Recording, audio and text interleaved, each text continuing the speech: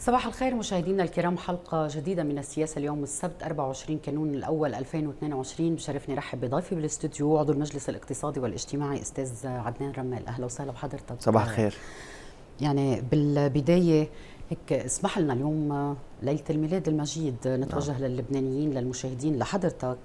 بميلاد مجيد ينعاد على اللبنانيين. إن شاء الله يحمل بشارة ولادة لبنان جديد يعني. بس هيدا بده يكون النوايا موجودة صحيح. أستاذ عدنان. صحيح. إن شاء الله بتكون سنة خير على الجميع. أهلا وسهلا بحضرتك إن شاء الله. يعني اليوم بالحديث مع حضرتك أكيد نحن اليوم يعني صرنا على مشارف أيام لنختتم هذا العام اللي كان عن جد مليء بالخيبات ويعني يعني بموازاة الانهيار كان عم بيكون هناك عجز وربما عدم مسؤولية عدم مسؤولية. صحيح. بأي إجراءات يعني تلجم أو تحد من هذا الانهيار؟ اليوم الهواجس المعيشية هي التي تطغى يعني يعني بتشكل قلق للبنانيين والسؤال دائما إلى أين؟ بظل بعد ما شفنا تصريحات رسمية. رئيس الحكومة بيقول الوضع قاسي يعني والمرحلة ستكون القادمة أقصى. حتى دكتور سعد الشامي بيقول الوضع صعب وصعب جدا. يعني صحيح. اذا هن عم يبشرونا أصحاب القرار عم يبشرونا بهذه المرحلة ما بعرف شو حيكون الإجابة. على كل حال بدنا نحكي مع حضرتك بالواقع آه الاقتصادي المالي النقدي آه المتردي من باب الإجراءات التي تتخذ. وبدنا نسأل حضرتك عضو المجلس الاقتصادي والاجتماعي عن هل هناك إمكانية لحلول بعد بهذا الإطار؟ طبعا الحلول يعني تبقى متوافره موجوده طالما الإرادة كانت موجودة لإيجاد الحلول. اليوم نحن بمشكلة يعني توصيفها أصبح يعني معروف جدا. نعم. ومشكلة اقتصادية ومالية ومنقدية واجتماعية ويعني قطاعية كل القطاعات بلبنان منها القطاع العام والخدمات اللي الدولة بتقدمها للمواطنين. نعم. أصبحت في خبر كان ومع الأسف كل ما الأمور عم بتزيد سوء. ولكن المشكلة الأكبر إنه المسؤولين ما كانوا معترفين بهذه المشاكل. هلأ كان عندهم حالة الإنكار ما زالت مستمرة لمن فترة قصيرة. هلأ صاروا عم بيقولوا نحن بمشكلة كبيرة وكذا. تأخروا كثير ليعترفوا بالمشكلة ليبدأ علاجها الصحيح. اليوم المسؤول مش مفروض يوصف المشكلة. المسؤول مطلوب منه الحلول. صحيح. يعني من المعيب أن يطلع بعض أو اكثريه الوزراء أو المسؤولين اللي بالسلطة التنفيذية اللي هن مسؤولين عن الحلول يطلعوا يطرحوا المشاكل على المواطنين. مين بده يحل المشاكل؟ المواطن. صحيح. يعني تصريحاتهم كانت بأماكن بالسياسة ولا بالإقتصاد ولا وين ما كان عم بتكون هي طرح المشاكل. عم أنت شغلتك تلاقي الحل. مش شغلتك تطرح وكأنه مشكلة كانه عم يشكو كأنه يعني عم يشكي للمواطن صحيح. وهذه على فكرة سياق بلبنان مم. يعني مستمر وطويل وهذا بدل عن جهل بالعمل السياسي وبالعمل الاقتصادي عدنان هيدا نعم. يعني كمان تقاذف المسؤوليات وكل حدا بده يشيل المسؤولية يعني عن كل حدا بده يشيل المسؤوليه عن حاله اليوم المسؤوليات واضحة مم. يعني السلطات هي اليوم متعددة نعم. في سلطة تشريعية في سلطة تنفيذية نعم. اليوم السلطة التنفيذية هي هي المسؤولة عن التنفيذ في حال كان في قوانين في جديدة على تنفيذها اليوم بلبنان إذا تم إقرار قوانين ما بيتم تنفيذها صحيح. التقصير عم بيكون من السلطة التنفيذية مم. الإجراءات اللي لازم ناخذها بأزمة مثل الأزمة اللي نحن فيها مفروض السلطة التنفيذية تطرح الحلول ومن ثم السلطة التشريعية بتقرر هالقوانين كيف بدها تكون. اليوم السلطة التنفيذية ما عم تقوم بدورها ابدا عم تتقاذف المسؤوليات ما بين بعضها. يعني الوزراء ليسوا كجسم واحد بيمثلوا الدولة اللبنانية بل بنشوف نحن كل وزير عم يشتغل على هواه وعم يشتغل بالقطعة. واحيانا قد يكون في مصلحة بالتقاء وزارتين أو ثلاثة مع بعضهم من أجل تنفيذ شيء لمصلحة اللبنانية. بنلاقيهم عم بت عم بتناكفوا مع بعضهم لحتى كل حدا منهم يطلع هو البطل أو هو العامل فبالتالي بيفشل نعم. أي مشروع قد اليوم يعني المشهد السياسي يعني المتشظي اللي عم نشوف هيدا التفكك اللي حضرتك عم تحكي عليه قديش عم يطغى على يعني آلية عمل الحكومة مسار العمل الحكومة وبالتالي قديش عمالة يعني يقذف بالحلول وعم بتكون دائما يعني الضحية الاقتصاد الوطني نعم. وبالتالي المواطن اللبناني صحيح هيدا صحيح. المشهد كمان هن قد إيه بيتحملوا مسؤولية بهذا الموضوع بيتحملوا كامل المسؤولية مم. أساسا عندهم مسؤولية التقصير نعم عندهم مسؤولية عدم الكفاءة يعني بالاختيارات اللي عم بتكون بالسلطة التنفيذية ما عم بيكون في كفاءة وعم ما عم بيكون في معرفة نعم. يعني عم نبحث عن ألقاب مم. وعن شهادات أكثر ما عم نبحث عن أشخاص عندهم خبرة عملية آه، مشتغلين بالقطاع الخاص أو بالقطاع العام. اليوم ليه القطاع الخاص بينجح؟ القطاع الخاص بينجح لأنه أي تقصير من أي موظف إن كان بأعلى الرتب ولا بأقل الرتب بيتم فورا محاسبته أو أو إزاحته. اليوم بالقطاع العام عندنا مشكلة كثير كبيرة نحن بال, بال يعني بصلب القطاع العام. في عندنا كفاءات كثيره في عندنا أشخاص ناجحين. وفي عندنا جزء كبير منهم هو آه، يعني أشخاص غير كفؤين إن كانوا من رتبة وزير وبالنازل يعني نعم. بدي احكي بهالمستوى هذا ولكن ما في أي آه، يعني أي طريقة أو أي بروسيس لإزاحة هذا الشخص وتعيين بديل عنه أو لمحاسبته لأنه صحيح. البلد قايم على نظام خاطئ جدا والمشكلة الاقتصادية نحن فيها والمالية والنقدية هي سببها النظام النظام هو المشكلة الكبيرة وإذا اليوم نحن افتراضا عملنا كل الإجراءات المطلوبة ورجعنا حدينا من الانهيار وتعافينا بدي سلم مع إنه من الصعب جدا ولكن إن شاء الله بيجي يوم نتعافى فيه. وبيبقى هذا النظام موجود وبيبقى هذا النظام موجود. نحن بنعيش عدة سنوات وبنرجع على أزمة أكبر من هذه الأزمة إحنا إذا ما عملنا يعني إصلاحات بنيوية لأنه يعني صحيح. يعني الخلل الخلل بلبنان بنيوي أساسي يعني ببنية هذا نعم. الاقتصاد وأيضا يعني ربطا مع بنية النظام السياسي أكيد. يعني النظام السياسي هو اللي عامل النظام الإداري اليوم اليوم نحن في مشكلة عندنا بنيويه بالسياسة بال بال بالإدارة بالقطاع العام نعم. لأنه كل هذه بالقطاع المصرفي بالقطاع المالي الرسمي والخاص مه. كل هذه الأزمات تراكمت وانفجرت كلها سوا بال 2019 نعم ال 2019 اللي صار هو نتيجة أزمات كانت مستمرة انفجرت بال 2019 مه. يعني هو نتيجة ما سبق أنا صحيح. هذا برأيي اليوم ما فينا نجي نقول إنه إنه كان كل شيء سليم نعم. والأز... وال وال وال ب 17 20 هو اللي عمل الأزمة. لا صحيح كان الشعب محقون ولكن اليوم الشعب ما كان عارف حاله إنه رايح على الاسوء بالتالي اليوم الإجراءات كلها اللي تم أخذها من 2000 من 2019 لليوم كلها إجراءات أو خاطئة أو لا أو لم يتم أخذ الإجراء الصحيح اللي نحن كان بحد من الأزمة. نحن نعم. أساسا بأزمة من 2011 من من متى ما ابتدأت الحرب على نعم. سوريا نحن أصبحنا بأزمة بميزان المدفوعات اللي كان كل عمره قبل 2011 كان لمصلحة لبنان من 2011 وبالطالع أصبح ميزان المدفوعات يعني ما يخرج من الدولارات من لبنان أكثر ما يدخل فبالتالي نعم. ابتدأت من 2011 وابتدأت أزمة النازحين وصار في عبء على لبنان اليوم الاقتصاد اللبناني لا يحمل هذا العدد من النازحين بلبنان وبنفس الوقت لا يحمل اقتصاد آخر ينميه من لبنان. أحكي الأمور بصراحة. مم. نحن اليوم باقتصاد صغير عم بيعيش دولتين. وبنفس الوقت هذا الاقتصاد عم بيعيش شعبين. نعم. وبالتالي نحن تلقائيا حنروح على أزمة يعني كنا. فبالتالي الأمور تعقدت بشكل يعني متدرج وسريع. نعم. ولكن عدم أخذ الإجراءات الصحيحة حالة الإنكار اللي بقيت مستمرة من من شهرين ثلاثة اعترفوا إنه في أزمة بلبنان من من رئاسة الحكومة بالنازل، فبالتالي هذه الأمور هي اللي عقدت الأزمة ووصفت بالأزمة اللبنانية من سنة إنه هي ثالث أكبر أزمة بالعالم من 150 سنة. نعم. أنا اليوم بصرح لك وبقول لك على مسؤولية إنه الأزمة اللبنانية هي الأزمة الأولى في العالم يمكن من 500 سنة.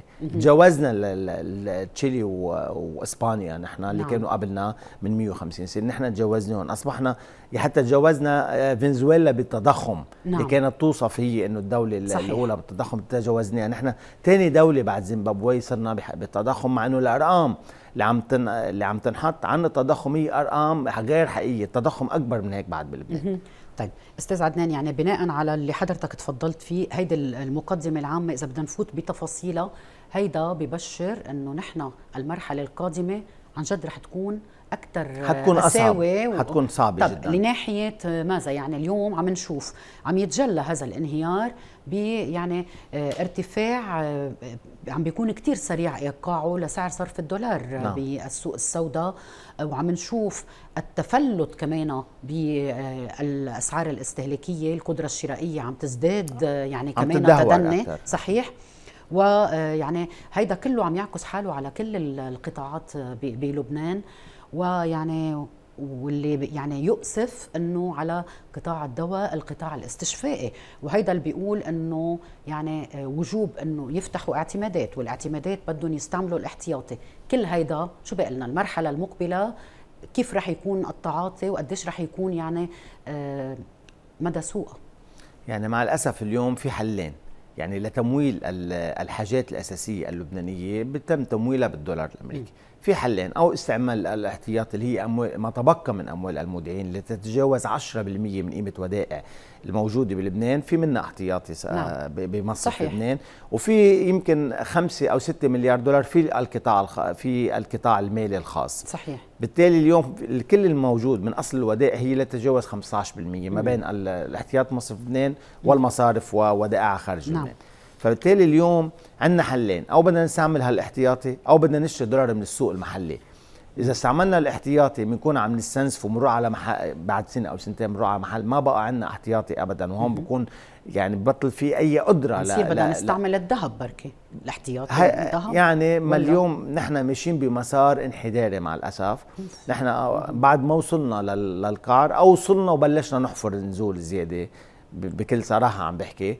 فبالتالي اليوم إذا استعمل الاحتياطي مشكلة في حال نضب الاحتياطي بالمجلس بمصرف وإذا ما استعملناه وإذا ما استعملنا الاحتياطي عم بيضطر لشراء الدولارات من السوق المحلي. نعم. وعند كل شراء دولارات من السوق المحلي لتلبية الاحتياجات ان كانت فيول ولا قمح ولا آه، دفع الرواتب للقطاع صحيح. العام بال صحيح. بال على على على تعميم صيرفة أو تعميم 161 صحيح. فبالتالي هذا الدولارات اللي عم تنسحب من السوق المحلي كمان عم تعمل رفع بالأسعار فأصبحنا بدوامة إيه بعتذر لقاطعك بس عم نشوف أستاذ عدنان يعني دائما صار الملاحظ إنه قبل أسبوع من آخر الشهر عم بيكون في هيدا يعني شراء عم بيكون في التدخل من المصرف المركزي بالسوق لحتى يعني وكأنه عم بيشارك بالمضاربة ليأمن أموال آه، هو مش عم بي... القطاع العام. يعني مصرف لبنان مش عم بيضارب أكثر ما إنه اليوم في احتياجات للدولة اللبنانية احتياجات استراتيجية ورواتب القطاع العام. وبعض السلع الأساسية اللي ما زالت مدعومة مثل القمح والأدوية الأمراض المزمنة. نعم. واليوم زاد علينا شغلة هي تأمين آه، ثمن الفيول لمؤسسة كهرباء لبنان والأسبوع القادم حيشهد يعني آه اعتماد ب 63 مليون دولار. فبالتالي إيه صحيح آه خلصت. فبالتالي نحن اليوم يعني رايحين أكثر لحاجه بالدولارات فكل ما نحن عايزين هالدولارات بدنا نشتري من السوق المحلي. ومش بس نحن عم نشتري من السوق المحلي كمان في أطراف أخرى عم تشتري من السوق صحيح. المحلي اللبناني مع مع زغر الدولارات أو العرض الموجود بلبنان لبل نحن كمان اليوم في عنا يعني منافسين عم غير لبنانيين عم يشتروا دولارات من السوق اللبناني. فبالتالي يعني أصبح السوق اللبناني عليه طلب أكثر بكثير من العرض الموجود. يعني اليوم بالصحف عم يحكوا على سوق أشتورة يعني الموازي بغض النظر اليوم لا لأنه في تهريب كمان دولارات عم مش بتصير. تهريب يعني اليوم ما حدا عم بيهرب دولار مم. بمعنى كلمة التهريب مم. يعني في بعض الكلمات آه، مم. بتستعمل بالصحافة أو مش حضرتك يعني بالكتابة إنه تهريب اليوم مم. في السوق اللبناني سوق حر مفتوح يعني في أشخاص معهم عملة ثانية ببدلوها بالدولار هيدا يعني من ضمن بكل دول العالم بيصير ولكن نعم. اليوم لأنه في شح كبير بالدولار بلبنان مم. أصبحنا آه، عم نشوف حتى لو كان مبالغ يعني متوسطة نعم. غير كبيره جدا عم بتعمل أزمة بالسوق بالسوق اللبناني فبالتالي اليوم نحن رايحين على أزمات أكبر لأنه ما انعملت الحلول وقت كان لازم تنعمل لأنه بالاقتصاد وبالمال وبالنقد إذا إجراء يصح اليوم ما بيعود يصح بعد أسبوع فكيف صحيح. إذا بعد سنتين أو ثلاث سنين نعم. رايحين نحن نقول إنه والله بدنا نبلش نشتغل معناتها يعني سعر صرف الدولار مرجح إنه يضل يعني يلعب وربما يعني نحو يعني أنا بدي اعطيك عينه بسيطة نحن بحزيران كنا بحدود ال 30000 صحيح. اليوم نحن بحدود ال 45 إذا بدنا نعمل. يعني نحن طالعين 60% بخلال خمسة اشهر أو ست اشهر طلع 60% الدولار بس بنفس السنة. نعم. ابتدأ العام ب 20000 اليوم نحن عم نحكي 45 عم بال 50 يعني مرة ونص زيادة نعم. خلال سنة واحدة. مم. والرقم كبر يعني رقم سعر الصرف صار كبير نعم. فبالتالي نحن بنشهد يعني إذا باقي المسار كما هو مم. وما تم توقيع مع اتفاق صندوق النقد هو الهدف من صندوق النقد هي المظلة اللي بده يعطينا إياها من صحيح. أجل المؤسسات الأخرى المانحة الدولية أو الدول اللي هي قد نوع من الحوكمة على نوع نعم. من من المظلة ل...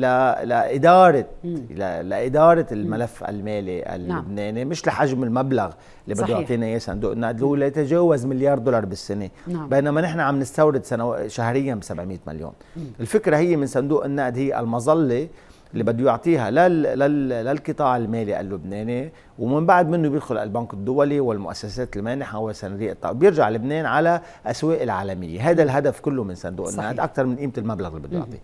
وبنفس الوقت عم يفرض الإجراءات والإصلاحات اللي الحكومة اللبنانية أثرت باتخاذها ذاتيا.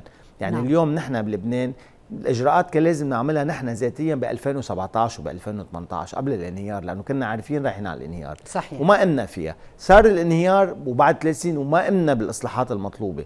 مم. قد يكون صندوق النقد هو العامل الوحيد. اللي عم يفرض الإصلاحات لأنه هن بحاجة الأموال وبحاجة العودة إلى الأسواق الدولية وليس حبا بالوطن وبالمواطنين.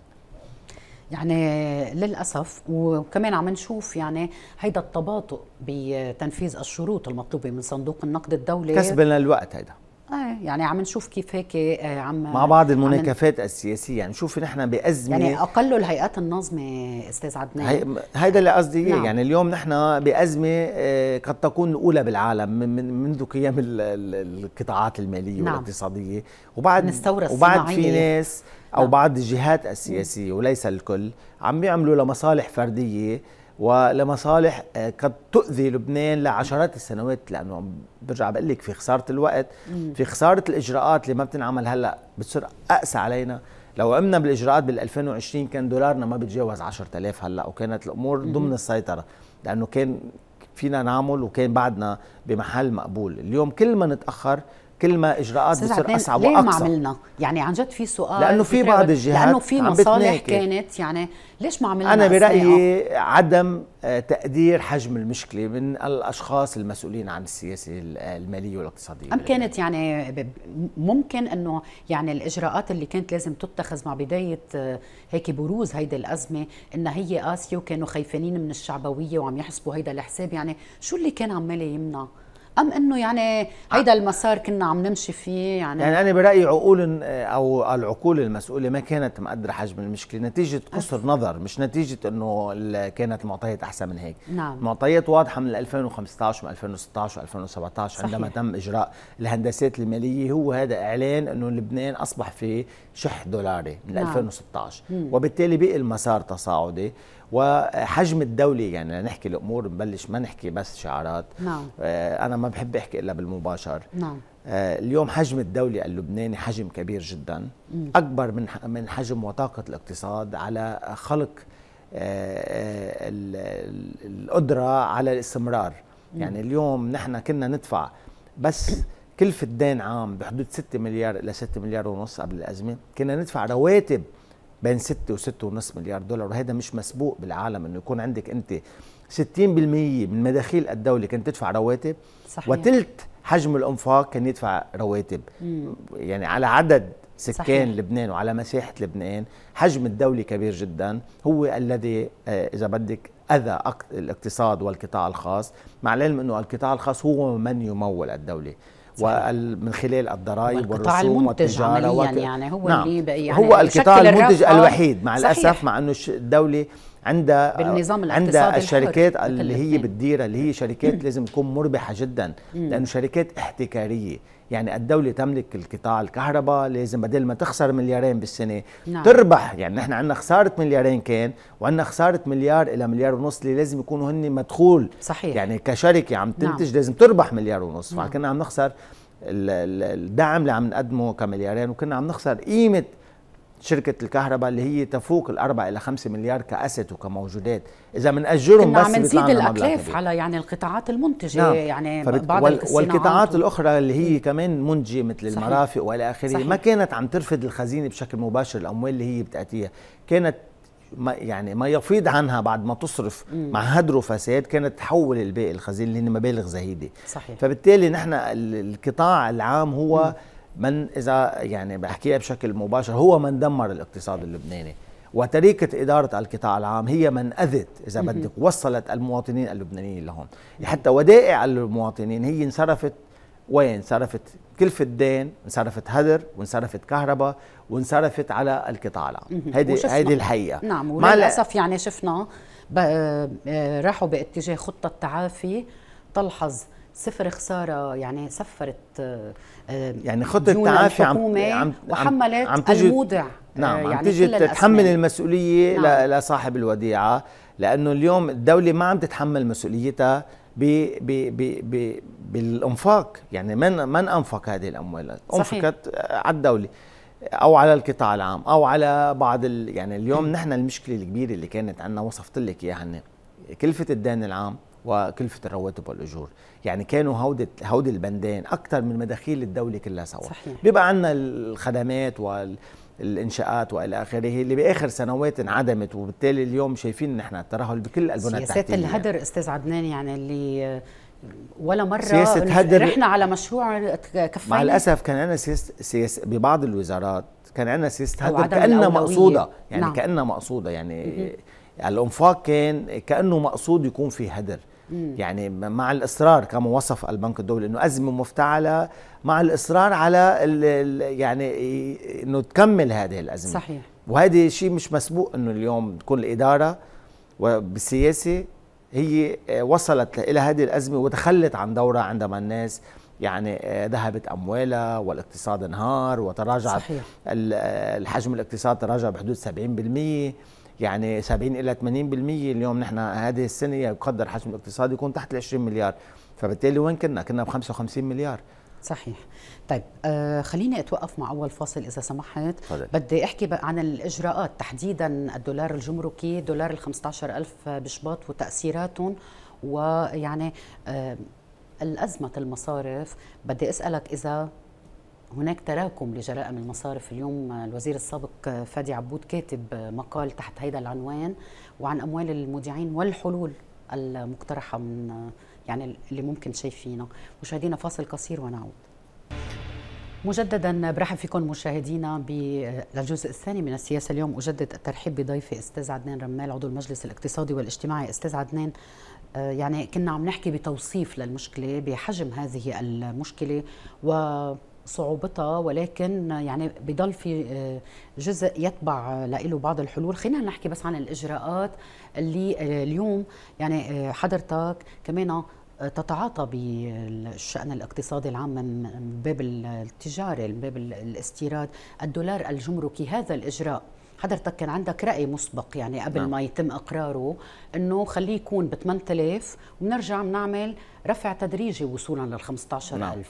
اليوم ال 15000 بعدك عند رأيك أول شيء هلأ على سعر الدولار السوق السوداء إيه. صارت ال 15 كانها 8 وقت كنا عم طالب يكون ب 8 آه. لكون صريح. يعني نعم. وقت كنا عم نقول خليه يكون ب 8 آه لأنه في يعني معايير معينة. كنت عم بقول أنا إنه خليه يكون 8000 لأنه المودي عم يقبض آه، أمواله من المصارف على 8000 صحيح. القطاع الخاص زاد رواتبه بحدود الخمس مرات خلينا نقول مثلا. والقطاع العام زاد رواتبه ثلاث مرات أو أربع مرات مع بدل النقل والى اخره فبالتالي بيكون 8000 هو سعر عادل لأنه كمان ب 1005 الدولة ما بقى فيها تستمر. يعني اليوم القطاع العام والقطاع المالي عليه استحقاقات يعني رواتب خدمات إلى آخره بتنعدم. يعني بينهار السيستم نعم. العام. فبالتالي لازم يتم زيادة الدولار الجمركي من 1005 إلى مبلغ معين. كانت 8 وقت كنا عم نطالب 8 كان دولار بحدود ال 20 22 ألف مم. اليوم عندما أصبح الدولار ب 45 ألف نعم. بالتالي ال 15000 أصبحت كأنها 8000 على على برسنتج يعني كنسبة مئويه هلا إذا حدا فبالتالي أنا برأيي تعطيهم فكرة يعني لا يزيدوا لنا اياها ل 25000 يقولوا آه لا مش هيك. أنا عم بحكي إنه وقت كنا عم نطالب ب 8 نعم. كان ب 20 صحيح. فكنا عم نقول لحتى ما يزيد التضخم م. ما تعلى الأسعار كثير بنفس الوقت لحتى ما يضل ضمن قدرة المواطن زيادة الجمركيه لأنه نعم. في سلع عليها 35 و25 و40 صحيح. واليوم إذا بنشهد من شو عم بيصير بنلاحظ أكثر شيء قطاع السيارات والمفروشات تأثر بشكل كثير كبير نعم. لأنه نسبة الجمرك عليها عالية مع العلم إنه ما دخل يعني بضائع وسلع جديدة ولكن اليوم في بعض الناس بيعتبروا إنه حقهم الطبيعي يعملوا replacement لل cost تبعهم نعم. وهذا شيء بعلم الاقتصاد موجود بالتالي ما أظلم حدا فبالتالي اليوم ال 15000 ولا 8000 أنا برأيي أصبحت يعني ورانا لأنه سعر الصرف ارتفع بنسب كثير عالية وغطى هذا الهامش اللي كنا نحن عم نطالب فيه. طيب بيبقى اليوم نعم. زيادة الدولار الرسمي بحسب ما صرح حاكم المصرف المركزي إنه ببداية اشباط كمان بيكون هيدا آه، ساهم رجع للمودعين بالتوازي ما بين الضريبة وما بين آه، يعني مقبوضاتهم الدولارية اللي عم يقبضوها بالليرة اللبنانية. ولكن هودي الاثنين شو بيعملوا؟ يعني دولار جمرك 15000 نعم. والدولار الرسمي على 15000 شو بيعملوا؟ بيعملوا تضخم بالسوق أكثر بيعملوا كتلة نقدية بالليرة اللبنانية أكثر بيعملوا طلب على الدولار أكثر فبالتالي بيرتفع سعر الصرف وبتنخفض قيمة العملة المحلية أكثر وأكثر يعني بالتالي هن يعني إجراءين لابد منهم ولكن هودي الإجراءين بيساهموا أكثر بالأزمة لأنه نحن ما عم نروح على علاج الأساس نحن عم نروح نقول بدنا نزيد مثل زيادة الرواتب كل ما نزيد رواتب صحيح. كل ما الكتلة النقدية بتكتر كل ما الاستهلاك بيزيد مع العلم إنه هذه هي حاجة للموظف مم. يعني الزيادة اللي تم إقرارها كان للقطاع العام نعم. أو اللي عم يتم مناقشتها حاليا بالقطاع الخاص هي هيدي حق للموظفين وللعمال. حتى اللي ما ينفهم ولكن لازم غلط. تكون ولكن يعني بالتوازي مع شو؟ ولكن هذه عم بتساهم أكثر لأنه أصبحنا في دوامة. كل إجراء بناخده نحن عم بيساهم. يعني بدنا ناخذ إجراء ل لنساعد أكثر بالقدرة الشرائية للمواطن. بناخذ إجراء لنخفف من حجم المشكلة للعيال. عم يسبقوا سعر دولار عم يسبقوا سعر الدولار لأنه نعم. نحن بلد مستهلك بنسبة 80 إلى 90% من استهلاكنا هو مستورد ونحن نعم. بحاجة للدولار. وفي نعمة هون حقولها هي نعمة المغتربين اللبنانيين صحيح. فقط لا غير لأنه سنويا عم بيحولوا بين 6 ونص و7 مليار دولار. اللي هن أصبحوا اليوم هذا الرقم بشكل يمكن 45% من حجم الاقتصاد. نعم. وما في بلد بالعالم تحويلاته من مغتربيه بتكون تقريبا 40 إلى 45% من حجم اقتصاده. هودي هن اللي مخلين الناس واقفين على جريها. في عنا بحدود ال 20% من المواطنين اللبنانيين قادرين يصرفوا نعم. بالحاله اللي هن فيها لأنه أو مداخيلهم بالدولار أو هن برا البلد أو هن بيشتغلوا بالدولار بالداخل. وفي عندك 80% بنقسموا لشقفتين. شقفة فقر مقضع أصبحنا فيها. بيعيشوا بأقل من دولار بالنهار أو دولارين بالنهار. وعندك شقفة ثانية عايشة على عدة أنواع من الأعمال مع مساعدات من الخارج. هودي كمان عم بيكون عندهم قدرة مقبولة للحد الأدنى من العيش الكريم. يعني إيه، يعني وبناء على اللي تفضلت فيه يبدو اليوم يعني الإجراءات الحكومية عم بتكون شفناها بهيدا البطء لأنه مراهنين على هيدا الموضوع أستاذ إيه بس ما اليوم إنه اليوم العائلات عم ترفد بأموال من المغتربين. نعم بس ما عم تقدر تهدي يعني عم تقدر تكون يعني هيدا السقوط اللي عم نشوفه يبدو يعني بس الحكومة ما فيها تتكل على أي شيء من خارجها. يعني أكيد. الحكومة هي دولة هي المسؤولة عن رعاية مواطنينا ومسؤولة عن الأمن والأمان نعم. والصحة بالحد الأدنى نعم. هود الثلاثة هن الأساسيين تخلت عننا الحكومة مع الأسف اليوم الناس متروكة بلبنان مم. الناس اللبناني خلاق واللبناني هو عم بيقوم ذاتيا هو عامل دولة بيأمن كهرباء من من حلين ثلاثة بيأمن صحيح. بيأمن مي هو بيأمن يعني كل شيء المواطن هو كأنه عامل دولته الخاصة وبالتالي صحيح. الدولة اليوم بتيجي بتحكي بال إنه المواطن عم بيأثر لا المواطن بس الدولة تقوم بواجباتها تجاه المواطن. بتجي بدها تشاركنا يعني إيه مع الأسف يعني اليوم نعم. بآخر موازنة فرض الضريبة على الرواتب الدولارية الفريش هيدي هيدي خطرة جدا إنه بتهجر مع مفعول رجعي كمان يعني. مع مفعول هيدي مش مسبوقة بالقوانين. منا مسبوقة إنك ترجع مفعول رجعي تراجعي سنة كيف بدك ترجعي تصرحي وكيف بدك تخصمي ضريبة. ومعتبرين إنه ال1000 دولار قصة كبيرة يعني هن ال1000 دولار ما بيكفوا كهرباء ومي وتنقلات اليوم. صحيح. مع الأسف يعني. نعم. إنه معتبرين إنه هذا رقم كبير يعني 45 مليون لازم يدفع منه نسبة 20 أو 30% يعني.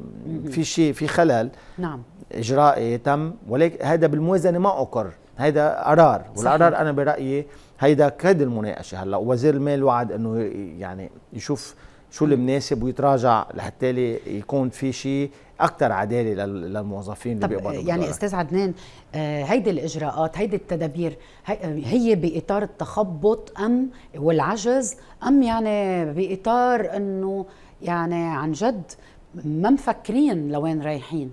شو ولا في شيء مقصود؟ تخبط وعجز ومش مفكرين لوين رايحين. يعني هيدا هيدا سوء إدارة ما بعرف أكيد نحن نحن عادة بأي دولة نحن بنشوف مثلا بفرنسا كنا نشوف التظاهرات آه، عم بتعم باريس إذا طلعت الفايدة 100% سنتات. إيه. اليوم نحن يعني بنشوف آه، فجأة ضريبة بتضرب ضرب 100 مرة ويعني للأسف. تسقط حكومات عادة بهيدا إيه وخاصة أنت بأزمة اقتصادية. ولكن يعني بهيدي نظام الحكم التوافقي نظام الحكم هيدا اللي كله مسند بعضه نعم. عم بيصير هاي المشكلة هون. أساسا نحن لو كنا بنظام حكم آه يعني حكومي ومعارضة ما كنا وصلنا لهون أبدا. بس وقت الحكومات بتكون نسخة عن المجالس النيابية يعني كل الكتل الموجودة بقلب الحكومة كأنه صار مجلس يعني آه توافقي المجلس التوافقي بيصير في تسويات نعم. والتسويات نعم. بتؤدي إلى ازمات لاحقة هذا هذا النظام اللي كنا عايشين فيه نحن نعم. وصل لهم النظام السياسي لأنه اليوم كمان إذا ما عملتي حكومات توافقية بتروحي على أزمة بالشارع يعني هيك كان الوضع قبل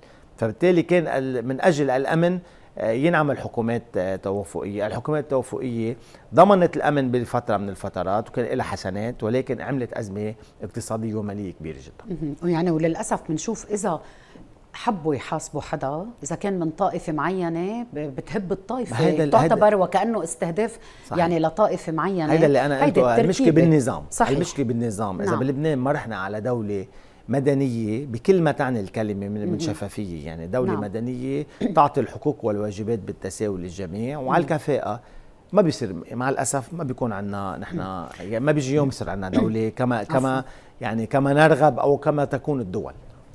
إن شاء الله اليوم يعني بنضلنا هيك نتوجه بالدعوات اليوم لأنه بتكتر الصلوات بليلة الميلاد أكيد. إن شاء الله الله يستجيب معجزة يعني. الميلاد إيه. معجزة بلكي بتحقق معجزة هلأ إن شاء الله طيب أستاذ عدنان خليني بس لأختم بمسألة الدولار الجمركي يمكن يعني المرحلة المقبلة إنه نشهد كمان رفع للدولار الجمركي برأيك بإطار إجراء يعني قاسي وصعب لأنه يعني سمعنا تصاريح رسمية عم بتقول يعني الحلول تكمن بإجراءات صعبة وقاسية بدنا نتحملها يعني بزيادة الإيرادات طبعا. يعني اليوم هن يعني إذا بدك أصحاب القرار المالي يعني عم يتخذوا قراراتهم بالقطعة.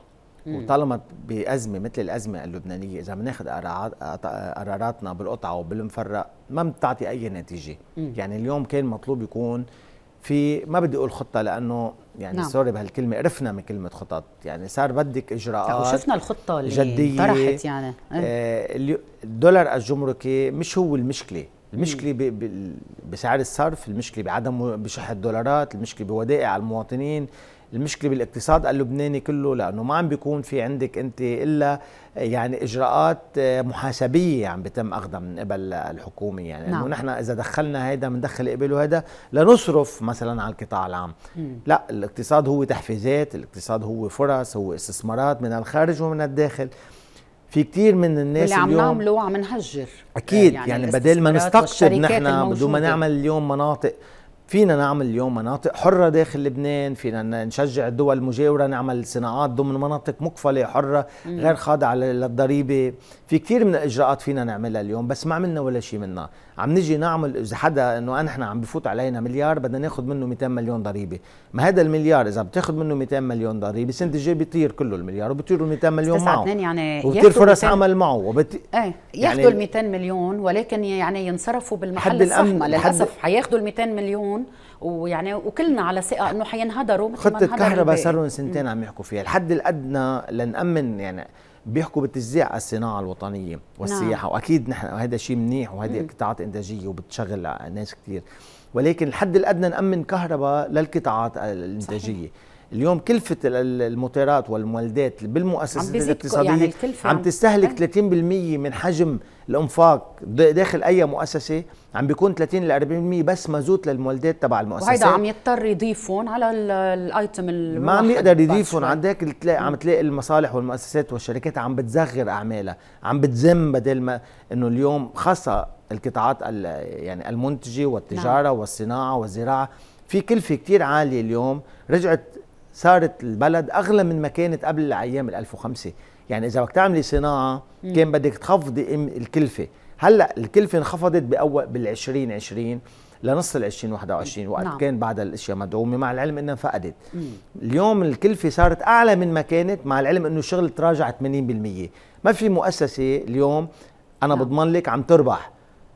كل المؤسسات بلبنان عم تستمر لأنه هي على أسماء عائلية هي يعني استمرارية طويلة من السنوات. عم أستاذ عدنان؟ في ولا مهدي حالها يعني؟ في منهم مهدي حاله وفي منهم يمكن عم يعمل أرباح بسيطة. مم. بس أنا بضمن لك 40 إلى 50% من المؤسسات عم تخسر ولكن بدها تستمر من أجل المحافظة على وجودها. مم. طيب خلينا آه، ننتقل هيك قبل ما يدهمنا الوقت إذا سمحت ل يعني الأزمة آه، مع المصارف. قانون ال capital control إصرار عم نشوف بكل جلسة إصرار على حفظ حقوق المودعين. بالمسار اللي يعني اللي ماشي فيه يحفظ حقوق المودعين؟ يعني وحتى المسار اللي عم تتعاطى فيه المصارف مع المودع آه، أستاذ عدنان أيضا. هلا هو ال capital control لما فر من إقراره كان لازم يقرر بالفترة الأولى يعني ببداية الأزمة كان لازم يقرر قبل ما تفتح المصارف يعني عادة هيك الإجراءات بتكون ما كنا أكيد وصلنا لهون. بس يبدو وقتها من الناس المشجعين على على عدم إقرار ال capital control هن جمعية المصارف. اللي هلأ هن عم بيطالبوا لأنه ما كانوا مقدرين الأزمة قد إيه حتكون كبيرة. اليوم إذا ال capital control اقر ضمن الشروط يعني دولة الرئيس بري هو السباق اللي كان عم بي بكل قوته عم بيجرب يحفظ أموال المودعين من نعم. خلال آه، القوانين اللي بده يتم إقرارها. على يعني من أجل ذلك اليوم في كتير تروي بدراسة بنود ال capital control حتى ما يكون الشيطان بالتفاصيل نعم. هي مسؤولية اليوم مسؤولية كتير كبيرة. صحيح. اليوم من الأساسيات آه، حفاظ على الودائع الناس هي مس... إعلان مسؤولية الدولة عن هذه الودائع. بغير ذلك الأموال غير موجودة. يعني إذا اليوم بدنا نتكل على المصارف المصارف أموالها لا تكفي لتسديد آه، حتى ال ألف دولار. اللي هن عم نحكى فيها أنها تكون مضمونة. اليوم في مشكلة كبيرة إذا الدولة تخلت عن المودعين اللبنانيين بتكون الأموال بكل صراحة أحكيها في خبر يعني آه، أو أنه على فترة طويلة جدا أو تدفع جزء منها بالليرة اللبناني آه، بأقل من قيمة الدولار الحقيقي. وهذا اللي عم بيصير اليوم ونحن شايفينه. يعني اليوم يعني في أكثر من خمسة مسلسل الهيركات حيضل مستمر. مستمر لأنه ما في مجال أساسا ترجع الأموال كما آه، أودعت. مع الأسف. وهيدي مع العلم إنه حق لكل مودع يسترجع. أمواله كما أودعها. هذا مم. حق مقدس بالدستور اللبناني بالقوانين المحلية والعالمية. نعم. وعم نشوف نحن خارج لبنان عم بتم إقرار أحكام لمصلحة المودعين لأنه هذا حق يعني من الحقوق اللي ما فيها أدنى شك. بس الواقع اليوم الواقع والموجودات إذا الدولة ما أعلنت مسؤوليتها ضمن خطه واضحة نعم وكيف بدها تتكفل بإعادة هذه الأموال القطاع المالي اللبناني لا يستطيع وأصبح عاجز عن سداد شو الحل السريع يعني شو الحل هيك سريعا بهذا الموضوع كيف يمكن آه، استعادة المودعين آه، لأموالهم حضرتك كنت من المشاركين بالمنتدى. الاقتصادي نعم. العربي اللي صار نعم. قريب الشهر تقريبا نعم. ببيروت مصارف عربية كانت موجودة صحيح. واضح كان في طرح من بعض المصارف لشراء مصارف لشراء مصارف م. لبنانية أستاذ عدنان نعم.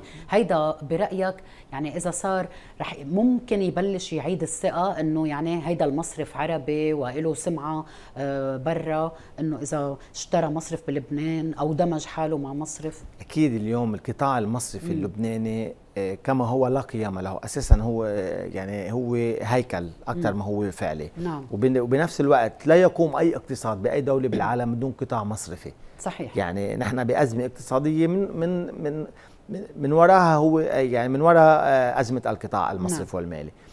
أي مصارف اليوم أجنبية أو عربية بتتملك مصارف محلية أكيد بتعطي ثقة أكثر وبصير في أمل أكثر للمودعين لأنه هذا المصرف اللي جاي يشتري هذا الخارجي اللي بده يصرف بده يشتري مصرف محلي عنده قدرة وبده يكون يعني عامل حساباته كلها كيف بده يتعاطى مع المودعين والى آخره. اليوم الحلول هي بتكون بقى التشركه يعني القطاع العام اللي مش عم يعرف يدير مؤسساته اللي عم اللي عم لهذه المؤسسات اللي هي قد يعني تعم يعني أرباحها تكون بالمليارات. يعني هيدا قانون تم إقراره موجود القانون ولكن هيدا اللي كنت عم بحكي عنه. بيتم نعم. إقرار قوانين ما بينفذوها صحيح. نحن لو رحنا على التشركة من سبعة ثمان سنين عند إقرار هذا القانون ما كنا وصلنا لهون. لأنه كنا وفرنا بالكهرباء بس يمكن أكثر من 10 مليار دولار. نعم. فبالتالي اليوم التشركة هي وإدخال القطاع الخاص لإدارة أنا ضد أنا ضد بيع مؤسسات الدولة نعم. يجب أن تبقى ملك الشعب ولكن م. فينا نديرها القطاع الخاص يدير هذه المؤسسات والمواطنين اللبنانيين يتملكوا جزء من هذه المؤسسات مم. المواطن اللبناني نعم. ويكون في نسبة معينة لعدد من الأسهم اللي بيقدر يتملكها كل شخص لحتى ما يصير في احتكار نعم. من مؤسسات كبيرة أو من متمولين كبار مم. وهذه كلها سهلة وقت اللي بيتاخذ القرار الاستراتيجي بحل الأزمة الحلول موجودة ولكن ما لحد اليوم ما في قرار ما في إرادة يعني للأسف أستاذ عدنان نحن يعني وقتنا مع حضرتك انتهى ودائما التعويل على الإرادة يعني نعم. بس تحضر النوايا وتكون الإرادة موجودة كله بيصير هيدا البلد بتحقق على, على وقت طويل ولكن نعم. بتم يعني بتحقق وقت الاراده موجود والقرار موجود بدنا وقت طويل ولكن بنبلش بنبلش على الحد الأدنى نوقف الانهيار نحن مع الأسف لليوم ما وقفنا الانهيار وماشيين بعد أكثر مع الأسف يعني ما كنا حابين ننهي الحديث مع حضرتك بهالنظرة التشاؤمية ولكن هذا الواقع. يعني رغم هذا الواقع أكيد لازم نضل لازم نقول وما بقى في داعي للتجميل أصلا. يعني ما بقى في ولا مساحيق تخفي هذا الواقع المرير. عضو المجلس الاقتصادي والاجتماعي أستاذ عدنان رمال شكرا جزيلا لحضرتك. وإن شاء الله تكون سنة خير إن شاء الله أكيد. يعني على اللبنانيين على حضرتك والعائلة. شكرا جزيلا على الأنبياء شكرا لحضرتك وشكرا للأنبياء. أهلا وسهلا بحضرتك شرفت. مشاهدينا فاصل قصير ونكون مع آه، رئيس منظمة جستيسيا دكتور بول ماركوس. مجددا برحب فيكم مشاهدينا الكرام بهذا الجزء من السياسة اليوم. وارحب بضيفي رئيس منظمة جوستيسيا الحقوقية دكتور بول مرقص. أهلا وسهلا بحضرتك دكتور. صباح الخير. ميلاد مجيد ينعاد على حضرتك. لكم وللمشاهدين الكرام كمان. أهلا وسهلا بحضرتك. يعني للأسف اليوم هيك عم نصبح المشاهدين بهالليلة المجيدة اللي هيك مفترض يعني تكون كلها أمل ورجاء لقيامة. ولا يعني بليلة البشارة عم تكون هيك واقعنا مرير. أستاذ عدنان رمال يعني كمان عم نقول كنا يعني بنتأسف نختم اللقاء بهذه النظرة التشاؤمية للعام المقبل على أمل يعني آه إنه يولد لبنان ويعني يبشر اللبنانيين بأيام أفضل. يا رب. إذا آه. هم أرادوا هيدا اللي يعني كان عم يحكي فيه أستاذ عدنان الإرادة مهم تكون موجودة. عفوا. آه، دكتور بول يعني في آه، عدة نقاط آه، هيك نستغل وجود حضرتك لنحكي فيها قانونيه اليوم يعني وهي مرتبطة أصلا يعني بالواقع الأزمة السياسية التي نشأت. عن ميثاقية جلسة الحكومة دستورية هذه الجلسات خاصة بوضع هالقد من نهار مثل لبنان وخصوصا أنه الدستور اللبناني هو دستور مرن يعني ليس من الدساتير الجامدة. وأيضا يعني هناك أيضا قوانين على طريق الإقرار وهي كمان بتهم الناس. اليوم ال capital control أموال المودعين ويعني هذا العمل العشوائي اللي عم بيقوم فيه المصارف بالتعاطي مع المودعين والقرارات اليوم اللي عم يتم أو القوانين اللي عم يتم إقرارها ولا عم تلاقي طريقة للمراسيم التطبيقية. أهلا وسهلا بحضرتك. شكرا. آه، خليني أبلش من الأزمة السياسية لظاهرة ميثاقية ودستورية الحكومة وباطنها السياسي كلنا صرنا نعرف ابتزاز سياسي ورئاسي. عفاكي لأنك أنت وضعت الإطار المناسب. شكرا. تفضل. دائما بحطوا الحق على الدستور. وكأنه نحن أبرياء هيك وفقط المشكلة هونيك نص إنه يعني ألزمنا به وهو سيء. نعم. وكأنه تجربتنا منا سيئة أكثر من هذا النص. النص والميثاقية واللي بدك اياهم أكيد بدهم تطوير. وأكيد بدهم درس. نعم. وبدهم تنزيه من العورات والعيوب والثغر اللي لحقت فيهم وعلقت خلال سنوات تجربتنا المريرة. لكن تجربتنا أمر وممارستنا أسوأ بكثير مما هي عليه هذه النصوص. عم تنلبس هذه النصوص. يعني عمال يصير في ديجيزمون عم يصير في آه قناع. نعم. هو قناع دستوري وأنت أشرت له عفاكي. لأنه القناع الدستوري عم بيستعمل لمقارب وغايات سياسية. وهالدولاب عم يبرم على الكل. صحيح. عندما بيسيئوا تفسير النصوص عندما بيتجرأوا على تفسير النصوص بدل تطبيقها عمالة مرة تصيب معهم لكن مرة تانية يوقعوا ضحية هذا التفسير المشوه لأحكام الدستور. هذا التفسير الملوث لأحكام الدستور. ما بيعود للسياسيين يقاربوا هالمجال نهائيا. خلينا يفهموا. نعم. ممنوع يقاربوا تفسير الدستور. ما يحكوا عن الموضوع مش شغلتهم. هن فقط بيطبقوا. نعم. بيطبقوا. لأنه عم نشوف يعني هيدي الحيلة فتح لباب الاجتهاد هاي الحيلة اللبنانية. نعم. هاي اللي عم بتكون حيلة. مم. حيلة السياسيين اللبنانيين مم. حيلتهم نعم. إنه هن بيتجرأوا وبيقولوا نحن بدنا نفسر الدستور بيتجرأوا على تفسير الدستور. مم. وبيتجرأوا على عدم تطبيق الدستور وبيتجرأوا على تطبيقه بشكل منتقص ومجتزأ ومشوه وملوث ومبتذل. فقط لغايات ومصالح صحيح. ظرفية. يا ريت مصالح استراتيجية مم. ظرفية. نعم. كلنا بنقول مرات الضرورات تبيح المحظورات ما في مشكلة. مم. بس تكون ضرورات وطنية تكون ضرورات استراتيجية. نعم. ما في منا على طاولتهم معظمهم لما أقول لك كلهم وعمي مظلم وأنا بشوف كتار منهم نعم. من كل الافرقاء كلهم بنسب متفاوتة بنسب متفاوتة وعم بقول لك عم بقول لك مش كلهم. لا لا إنه عم بقول لك عم عم بظلم. قلت لك ما بدي أعمم. قلت لك ما بدي أظلم. انه في بعض آه، الجهود طبعا بيقوم فيها البعض. نعم. يعني هو ومرات هذا البعض يصيب أو يخطئ. نعم. يعني ومرات بيحسن أو يخفق. مم. مش دائما كمان في ملاكه بالسياسة ومش مطلوب من الرجل السياسي يكون ملاك ما هو ليش وجد هذا الدستور. هذا وجد لنظم وضبط عمل السياسي نعم. على القليل يقروه. يقروه يقروه منيح. حضرتك كثير يعني آه، بتتعاطى كثير قريب يعني من آه، اللي بيشتغلوا بالشأن العام من نواب من وزراء. بتشوفهم في يعني قاريين؟ بالجستيسيا عم نشارك مثلا. إيه حتى باللجان, باللجان أنتم كثير عم بتكونوا خاصة باللجان الحقوقية يعني. ومرات عم يطلب منا دراسات آه مثلا دراسة اللاجئين اللي عملناها. هيدي قدمناها. هيدي لحالها. قدمناها. طبعا هيدي إيه. بشكل تطوعي واستشاري ومجاني. نعم. آه حتى ما نكون في عنا أي اصطفاف أو نعم. انتماء. نحن ما مم. يعني عنا بهذا الشغل هيدا الحكومي اللي طلب لنا أي ووقت كمان شاركنا بصندوق أو بالأحرى المفاوضات مع صندوق النقد الدولي الوفد اللبناني السابق. كمان شاركنا بشكل تطوعي وداعم للوفد اللبناني. نعم. وبشكل مستقل واستشاري. مم.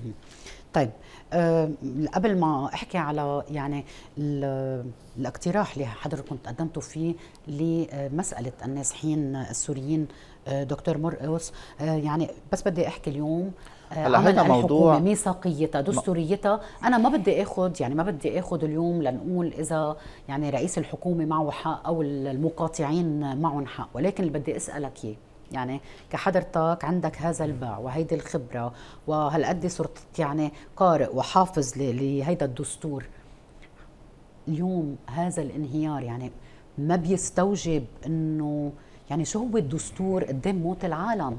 يعني شو هو آه، بنقول نحن عم نتجاوز لا. واليوم؟ ما إيه؟ هون ما تغلطي لا شو هو إيه؟ الدستور؟ لا. لا الدستور ما فهمت علي. يعني اليوم اللي عم اقوله أنا مش يعني ما بدنا نفوت بأي اجتهاد اليوم. إذا اجتمعت الحكومة إنه عم تقوموا بعمل غير دستوري طب وإذا كان البنود ما هو بنود هالقد ضروره ما هو مش منه غير دستوري. الاجتماع الحكومي دستوري. إيه؟ دستوري والا خليها الحكومة تروح على البيت ويقعدوا الوزراء بالبيوت. مم. والمراسيم الجوالة اللي عم يحكوا عنها. مش مزبوطة هيدي المراسيم يا ريت بس إيه؟ إنه شغلة شغلة حتى أقدر أخلص لك كل شغلة. طيب. قريت لك المادة 64 فقرة 2 من الدستور اللي قدامي نعم. وقدامي كمان تفسيره. مم. تفسيره وفقا ل 40 قاعدة دستورية. مم.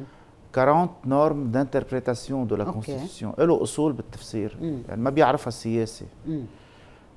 بتمارس الحكومة هاي الصلاحيات بالمعنى الضيق لتصريف الأعمال. تمارس الصلاحيات. مش لا تمارس. نعم. وجوبا. يعني عليهم موجب اوبليجيشن الوزراء يروحوا يجتمعوا. إنما بالحد الأدنى الضروري واللي ما بيترك شلل أو ضرر على المرفق العام وعلى الخدمات العامة. نعم. هذا المقصود. والإقرار يعني بيكون باكتر بالحضور بالحاضرين هلا بقول لك. نعم. بس قبل لأقول لك هالموضوعات اللي بدها تطرح بدها تكون ملحة جدا مم. وضرورية وماسة وما بتتصرف إلا عبر اجتماع الحكومة. نعم. فبده يكون اجتماع الحكومة نادر. نادر نعم. لكن موجود. مم. مش مش موجود. نعم. يعني ما رح ننطر نحن الزلزال ليوصل. بس مم. لك ما عم نعيش كوارث أخرى اقتصادية صحيح. ونقدية ومالية وصحية قد ما مم. بدك نعم تستدعي تدخل الحكومة مم. يعني هلأ الحكومة أنه تنطر مثلا يفز الدولار عن الخمسين ألف مثلا لتجتمع مش مم. ضروري تجتمع بس لهالبند الوحيد هذا اللي كنت عم أقول لك هذا لازم يعني. يكون مثلا مم. هلأ بند وحيد لاجتماع الحكومة مم. ودعوة كل الاختصاصيين بالموضوع مم. ودعوة حاكم مصرف لبنان والتطرق إلى الموضوع بشكل تصدي مم. بدهم يعملوا إجراءات. ما بيجوز يتركوا العالم. نعم. هي طيب. بدها هي بدها نطرة. هيدي مش من الأمور الضرورية الإدارية عم بحكي. ما التصرفية لأن في نوعين. في أعمال الإدارة actes de gestion لها حق تعملها الحكومة وفيها أعمال تصرفية هيديك. نعم. actes de disposition. ما فيها تعملها. فنحن أمام أعمال إدارية محدودة لكن ضرورية وماسة جدا. لا تنتظر حكومة جديدة. أما سألتيني. كمان في مادة ثانية رقمها 65 يرجعوا لها. هي بتحدد كيفية اجتماع مجلس وزراء وفي عندك مرسوم تنظيم أعمال مجلس وزراء نعم. صادر ب 92 ورجع كمان آه، عليه آه، تطوير.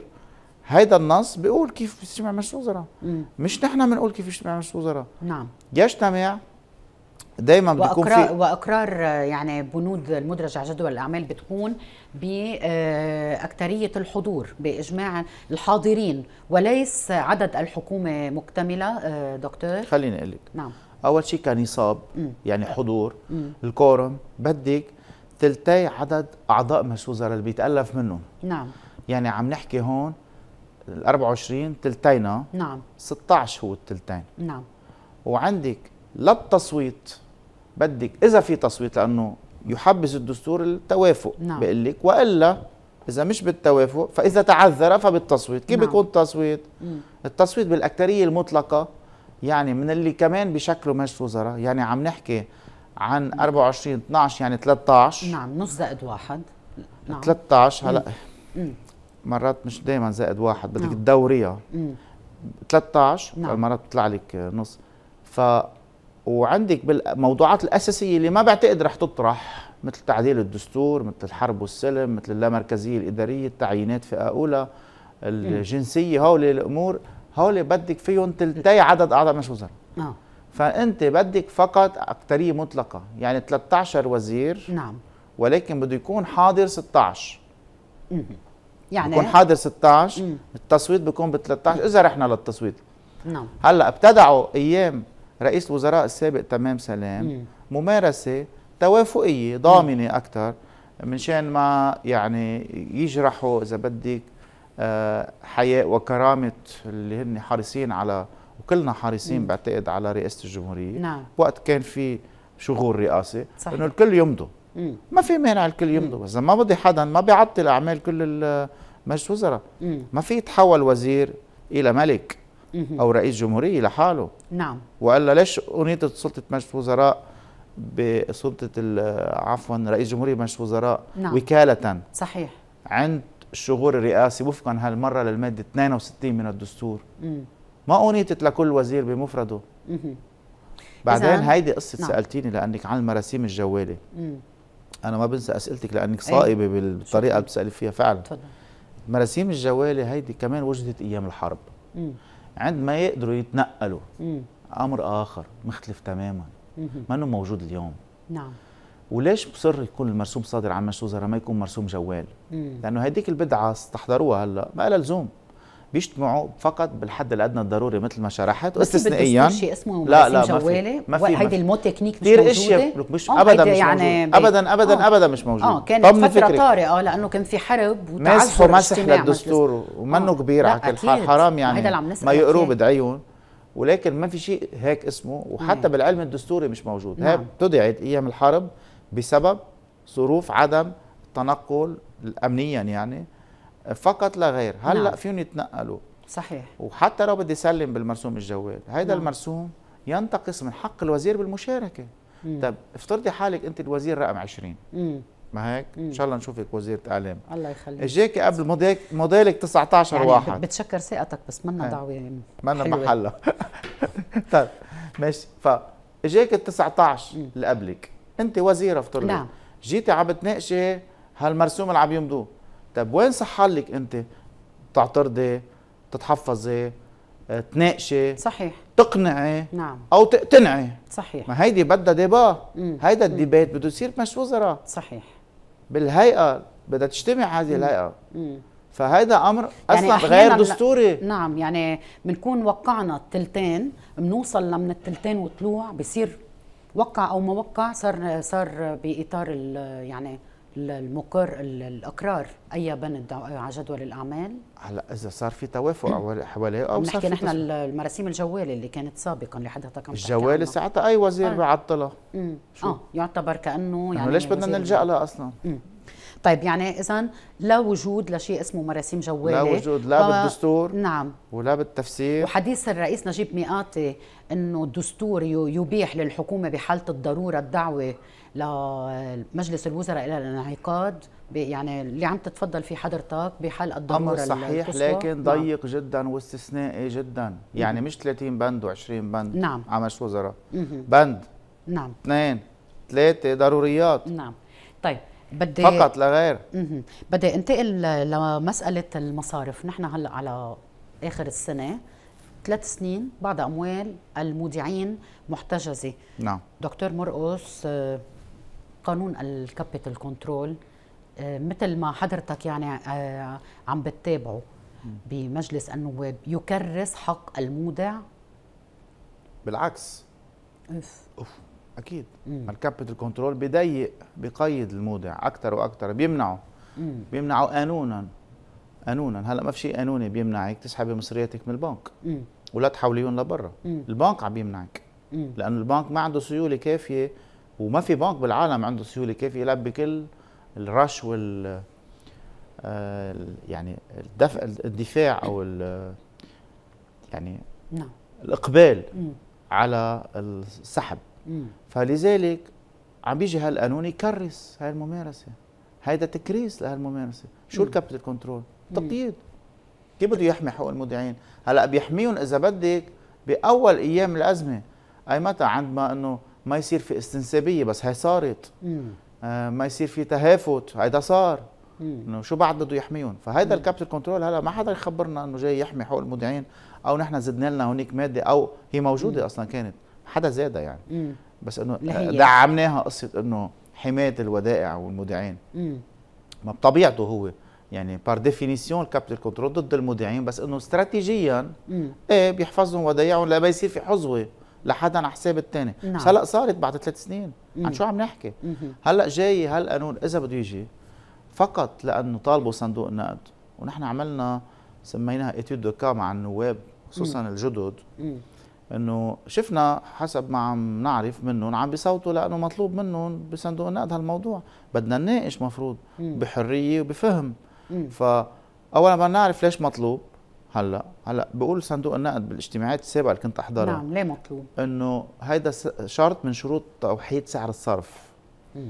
وبخاف يفوت مصاري ترجع تطلع من البلد طيب منيح مم. الأمر الثاني هلا بجاوبك عليه مم. الأمر الثاني الهدف هلا من. ال capital control هو حماية المصارف من الدعاوى اللي عم تقام عليها والصياغة اللي معمولة صياغة رديئة غير موفقة أساسا ما رح تحميهم حتى لو قروها النواب ف إيه طب يعني يعني- مثل, ما مثل ما كل الصياغات عم تكون يعني رديئة. برأيك آه، مشروع هذا صياغه السرية المصرفية مش رديئة؟ مم. صياغة الخطة مش رديئة؟ هلا إعادة توازن المالي الطرحينه مش رديء؟ الهيكلة نعم. رديئة. عم بيكون صياغة كثير رديئة. إيه. مش صياغة عم بحكي بشيء شكل. انتبه شيء بالمضمون والجوهر. ترجع لك. إيه. ترجع لك للنقطة الأولى. لكن إيه. لسببين قلنا عم بينقار حاليا. أو بده يصير في محاولة لإقراره. يمكن نعم. تفشل هالمحاولة على الأرجح. مم. لكن لنرجع للسبب الأول. إذا بدك أنت هلأ تنظم نظم السحوبات. أو التحويل إلى الخارج بمعايير بتحطها واحد اثنين ثلاثة بس.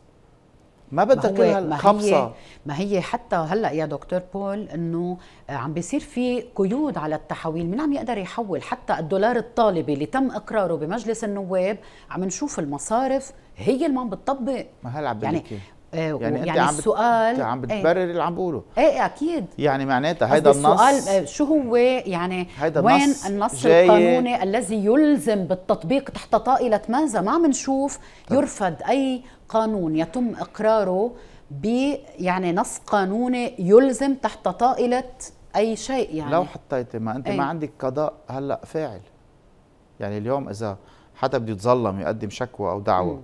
كيف بده يقدمها؟ اللي معه مصاري صار لك ست عم. يقدر يعملها وهلأ آه، صار لك ست أشهر صحيح. اعتكاف قضائي صحيح وقبل حتى كان مم. عندك كثير ظروف صحية وغيرها ما خلت العدلية تشتغل واساسا عندها مشاكلها العدلية مم. بالأساس وبالتالي يعني هيدي كل هالقوانين نعم وأنا بأسف إنه عم بكون عندنا أشكال من القوانين. بس عم تكون غير مطبقة طب آه، فقط لنقول عم نعمل إصلاح على الورق يعني مم. طيب دكتور بموضوع أموال المودعين برأيك كحقوقي كيف يمكن حمايتها والحصول عليها ولو بعد أجل بما أنه هلأ يعني في مرحلة من الشح ب لكن نحن ب Justicia واللي بحب الإيرادات. بفوت على ال website بشوف مقدمين خطة اقتصادية. شرحناها لعدة مرجعيات مولجة بالأمر مم. وهن أخذوا من البعض مم. من الأفكار منا ومن غيرنا طبعا مم. وطلعوا ب آه، إذا بدك حل. منقوص منه كامل برضه يعطيهم العافية لأنه في جهد انعمل ما عم نقول لا. كان بخطة التعافي اللي بدها كثير إصلاحات وكثير علينا ملاحظات عليها. ولكن أخذوا هالفكرة هي ما نعم. يلي ما مم. يلي. عندك ثلاث محافظ أساسية لازم تعمليها بالبلد هالبلد اللي منه مفلس. هالبلد إدارته السياسية مفلسة. صحيح. عندك محفظة عقارية. بتحطي فيها 66 ألف عقار يلي هاملتهم الدولة. يعني فوق ال 10% من مساحة لبنان. نعم. عم تحكي عن عقارات متروكة مهملة معتدى عليها منسية مم. اللي بدك إياه من ضمن الأملاك. البحرية يعني عم تتحدث فيها؟ كلهم كلهم نعم. كلهم. بتحطيها بمحفظة عقارية. نعم. بتعالجيها. مم. عندك صار portefeuille نعم. بتحطي عليه إدارة صحيحة ونزيهة وشفافة. مم. هلأ بحكي كيف. نعم. بس تخلص مم. هاي محفظة. ما عم بلخص طبعا أنا الخطة. نحن. عنا إياها كاتبينها على ال website. نعم. الأمر الثاني تعملي محفظة للقطاعات الإنتاجية. يعني كهرباء ومي وبريد واللي بدك اياهم. كمان اللي هن خسرانين. وبتعملي محفظة ثالثه للرخص السيادية والامتيازات اللي بتعطيهم الدولة مم. يعني مثل ما بتعطي بالبحر أنت رخص تنقيب عن النفط مم. عندك مثلا مجالات أخرى ممكن تعطي فيها على الحدود بكرة عند إعادة أعمار سوريا عند إعادة وصل المنطقة مع بعضها. عندك مشاريع كتير كبيرة بتعطي مم. فيها رخص الدولة. فهي كمان لها قيمة نعم وهي بيترعبن عليها مم. يعني الثقه مجرد إنك عم مالت باشرة بهالموضوع فيك أنت تبيعيه كفكرة تبي مم. مش بايع بمعنى بايع صحيح، عقارات صحيح. الدولة لا نحن مع إدارتها فقط اشتراك القطاع الخاص في إدارتها وليس بيعها. فلا أرجع اذا هالثلاث محافظ الأساسية بتكون هيدي بصندوق سيادة استثماري سميه اللي ما شئتي. ولكن تحت إدارة كثير صارمه ونزيهه هالمرة ممكن تعيني فيها أنت مسؤولين أجانب يكونوا عم بيديروها من مرموقين يعني أمين عام سابق للأمم المتحدة مثلا. يديرها هلأ في عندك متقاعدين كثير بالعالم وبتحطي معهم شركات تدقيق دولية بتحطي اثنين كثير كبار فقط للتدقيق وبتحطي أمر ثالث كثير مهم مم. وحاسم مثل ما عملوا التليان نعم وغيرهم من البلدان مم. بتحطي website عليه compteur مم. عداد بتشوفي انت كمواطنة نعم. شو فات من نفادات دائنة؟ وشو طلع من نفادات مدينة؟ مم. هيدا لمزيد. من الشفافيه entries و debit entries على اللحظة ذاتها. مم. ليش فاتت وكيف طلعت؟ بكون في إدارة نزيهة وشفافة ومباشرة لهالصندوق. وهيدا ممكن يكون عنده إيرادات كتير كبيرة. اقترحتوا هيدا الموضوع نعم. يعني على المسؤولين الكبار بالدولة. نعم. نعم. شو كان موقفهم من هيدا؟ مثل؟ العادة ترحيب. مثل العادة. ولكن كان في إذا بدك جزئية معينة اخذ بها وفي أمور تانية آه، ما بت- لا لأنه بركي اعتبروه انتقاص من السيادة ما انك تجيب. آه، يعني من خارج. البلد ناس. لتراقب ولا أنا هلأ عم بعطيكي سبب إيه يعني هلأ طلع معي إنه ممكن يتحط لك حدا لأن دائما أنا ليش عم بقول هالجملة لأن بعرف المشاهد شو عم بفكر مم. بكون عم بقول هلأ بدك تحط صندوق وبدك تجيب لي مسؤول بعد مرة أو مسؤولين لبنانيين يديروا هالصندوق ما هن شفنا شو عملوا قبل أيوة. مشان هيك بتجيبي أنت إدارة محايدة مستقلة نزيهة تحت رقابة محاسبية. نعم. عرفت كيف؟ حتى تعطي شوية ثقة. أنه هيدا إيه، الصندوق ما رح عم- ينسرق أنا من عم جديد. بسألك شو كان يعني جوابهم لأنه يعني في البعض بيشوف بالبلد يعني ما بعرف بس لا إيه أحدهم سألني يعني فعلا بس فعلا يعني حق مورد رزق إيه يعني إيه سألني أحدهم وناجم مين بيترأس يعني. هالصندوق فعلا هيك أيه كان أول سؤال. لأنه اليوم اللي عم نشوفه.